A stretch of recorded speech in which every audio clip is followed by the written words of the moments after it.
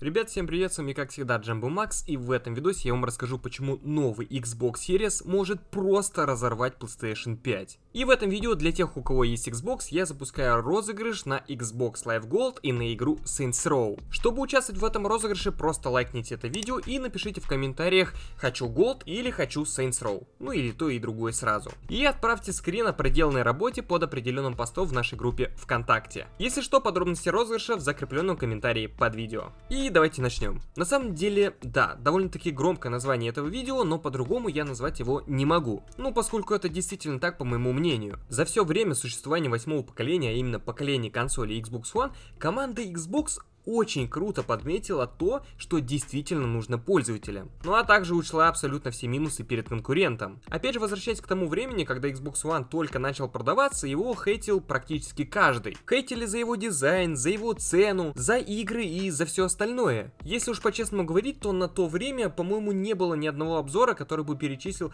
абсолютно все плюсы Xbox One по сравнению с PlayStation 4. Ну, кроме моих обзоров. Ну, сам себя не похвалишь, никто не похвалит. Плойку в то время восхваляли ну просто до небес, поскольку по мнению многих она считалась лучше. А в чем собственно было отличие между PlayStation 4 и Xbox One? Xbox был больше плойки, имел блок питания, стоил дороже, поскольку в комплекте у него был Kinect, и на первых порах у него страдало разрешение в играх, поскольку а, игры шли в 720p, а на PlayStation 4 иногда в 900 или в 1080p. Ну, в итоге все равно больше, чем у Xbox One. Но несмотря на то, что разница в принципе была минимальной, Sony Boy сделали на этом капец какой акцент, и всех заверили о том, что Xbox реально говно. Хотя, если объективно, Xbox не говно. Далеко не говно.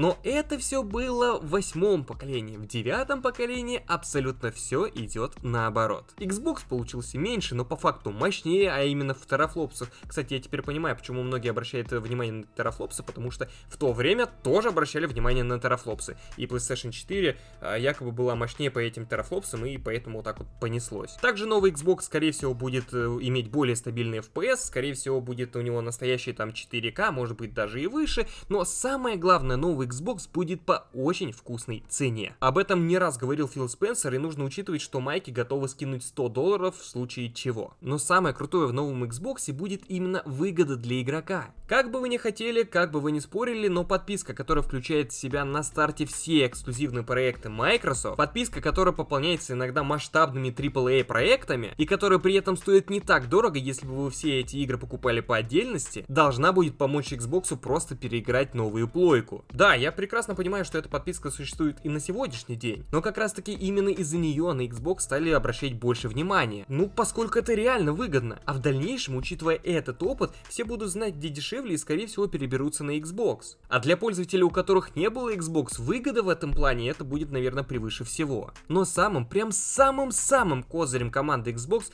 будет, скорее всего, новая Xbox Series S, которая Lockhart. И да, по слухам, кстати, Lockhart, скорее всего, не будет похож на дизайн Xbox Series X, хотя, в принципе, такой коробочек смотрится неплохо. Если слухи не врут и они приближены к правде, то нас ожидает, что Series S будет намного дешевле, чем Xbox Series X. А при таком раскладе, наверное, планы Sony просто рухнут пополам. Давайте просто подумаем, у PlayStation сейчас две консоли. Одна с приводом, другая без привода.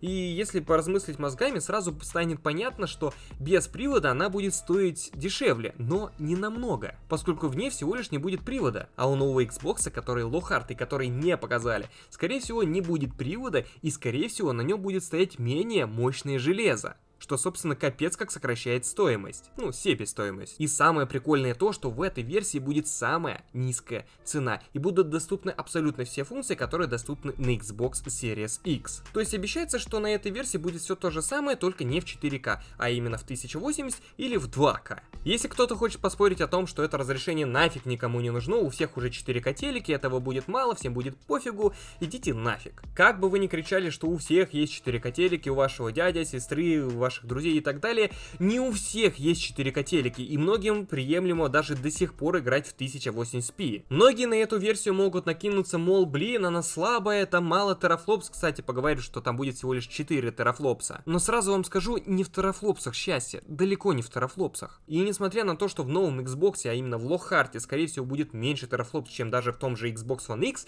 он будет все равно мощнее. Да, я понимаю, что в принципе это звучит бредово, но терафлопсы это не единственный показатель мощности мощности. А самое главное, что эта консоль будет являться консолью девятого поколения, что в принципе обеспечит всем пользователям запуск абсолютно всех новых игр. Ну еще и старых, потому что есть обратная совместимость. Я считаю, что для большинства тех, кто хочет играть, особенно играть на новом поколении, Series S будет просто идеальным вариантом, поскольку он, скорее всего, привлечет к себе внимание и именно за счет цены. А цена в новом поколении, скорее всего, будет являться самым важным фактором выбора консоли. Ну, поскольку мало кому захочется отдавать за тот же Series X или PlayStation 5 около полтинника или даже больше. У Sony в этом плане полный пробел, никаких слухов о какой-то еще новой консоли нет, поэтому, скорее всего, многие просто выберут более дешевую консоль от команды Xbox. Единственное, что поможет, наверное, Sony держаться на плаву и вообще отлично продавать свою PlayStation, это их фанаты.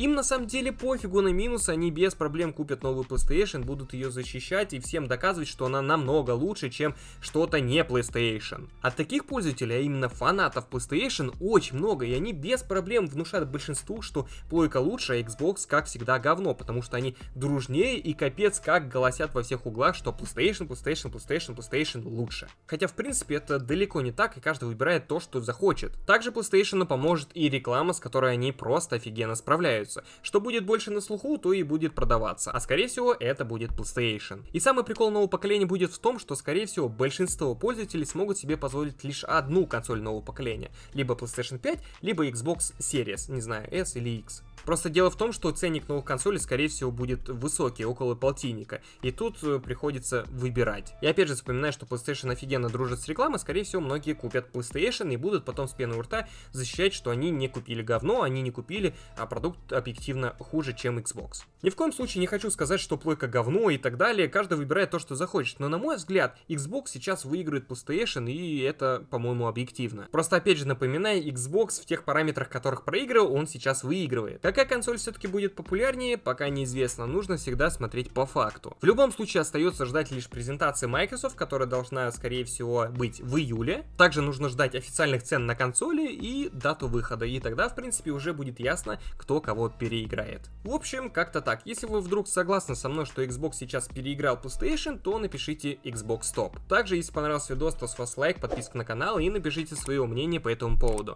Большое спасибо вам за просмотр, до новых встреч!